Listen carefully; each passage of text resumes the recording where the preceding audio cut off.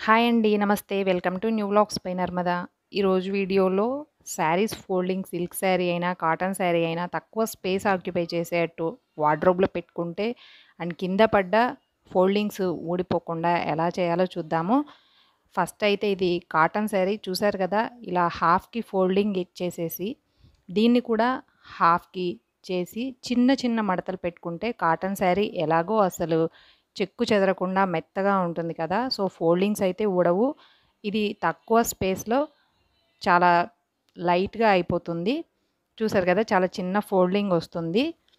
తర్వాత శారీ వచ్చి సిల్క్ శారీ అది కూడా థ్రెడ్ వర్క్ ఉంటుంది అండ్ కింద ఫాల్ ఉండి అది చాలా హెవీగా అనిపిస్తుంది కదా! ఆ బాటమ్ అంతా కొంచెం వరకు కిందికి ఫోల్డ్ చేసేసి రిమైనింగ్ ఉన్నది మనం టూ ఫోల్డింగ్స్ చేసుకుంటే ఇలా వీడియోలో చూపిస్తున్నట్టు టూ ఫోల్డింగ్స్ చేసుకొని మనం ఏటైతే ఫోల్డ్ చేసామో అది అలా లీవ్ చేసి చివరి నుండి మనకి ఎంత ఫోల్డింగ్ మనం వార్డ్రోబ్‌లో సర్దుకోవడానికి చిన్న ఫోల్డింగ్‌గా కావాలి అంటే చాలా చిన్నగా చేసుకోవచ్చు. లేదు అంటే కొంచెం ఇలా మీడియంగా అయినా చేసుకొని ఫోల్డింగ్ దీని మీదకి మనం ఫోల్డ్ చేసాం కదా! అక్కడికి పైకి వేసేసి ఇప్పుడు మనం ముందు ఫోల్డ్ చేసాం కదా! ఆ లేయర్‌ని ఒకటి తీసి పైకి కవర్‌లా చేసేయొచ్చు.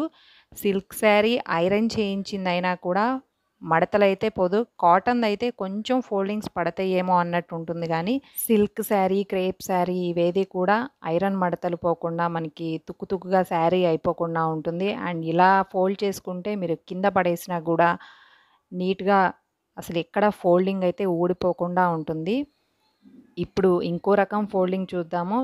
ఇలా చిన్నగా 2 మడతలు వేసుకొని జనరల్‌గా మనం దాన్ని హాఫ్‌కి వేస్తాం గదా! హాఫ్‌కి వేయకుండా ఇలా 2 ఫోల్డింగ్స్ వేసుకొని అటు అయినా, ఇటు అయినా హాఫ్‌కి ఫోల్డ్ చేసేసి దీన్ని దాని పైకి వేసేసేయొచ్చు. ఇందులో బ్లౌజ్ పీస్ కూడా పెట్టుకోవచ్చు.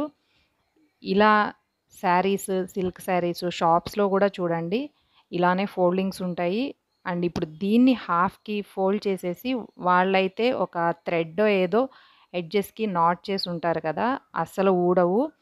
ఇలా మనం ఫోల్డ్ చేసుకుంటే ఇంట్లో అయినా కింద పడిపోకుండా ఫోల్డింగ్స్ మడతలంతా ఊడిపోకుండా వార్డ్రోబ్‌లో పెట్టిన మొత్తం పిచ్చి పిచ్చిగా అయిపోకుండా చీర మడతలు అలానే నీట్‌గా ఉంటాయి. చూసారు కదా! సగానికి ఫోల్డ్ చేసి ఇది ఇంకా చాలా చిన్న మడత వస్తుంది మీకు ఈ వీడియో నచ్చినట్లయితే తప్పకుండా లైక్ చేయండి. ఇప్పుడు ఇంకో ఫోల్డింగ్ చూద్దాము. ఇలా శారీని అయితే ఫోల్డ్ చేసుకొని ఉంటాం కదా! ఇది మనం పెట్టుకునే వార్డ్రోబ్ స్పేస్‌ని బట్టి కొంచెం పెద్దదిగా ఉంటుంది ఫోల్డింగు. బట్ హైట్ తగ్గిద్ది కదా! అది ఎనఫ్. ఇలా సగానికి ఫోల్డింగ్ చేసి ఒక 2, 3 లేయర్స్ తీసైనా అందులో బ్లౌజ్ పీస్ పెట్టేసుకొని ఇప్పుడు చిన్న చిన్న మడతలు వేసుకొని ఈ లేయర్ మనం ముందు ఫోల్డ్ చేసింది ఒక లేయర్‌లా వస్తుంది కదా!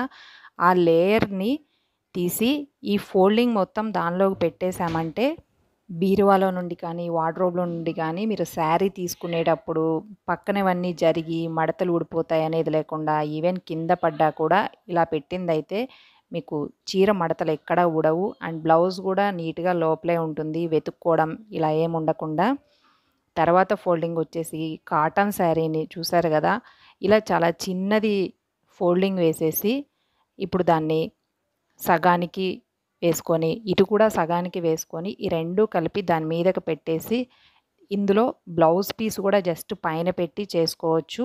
ఇది స్పేస్ ఆక్యుపై చాలా తక్కువగా ఉంటుంది. మడతలు అయితే ఊడవు. ఇది క్రేప్ శారీస్‌కి కూడా మడతలు ఊడకుండా ఉంటాయి.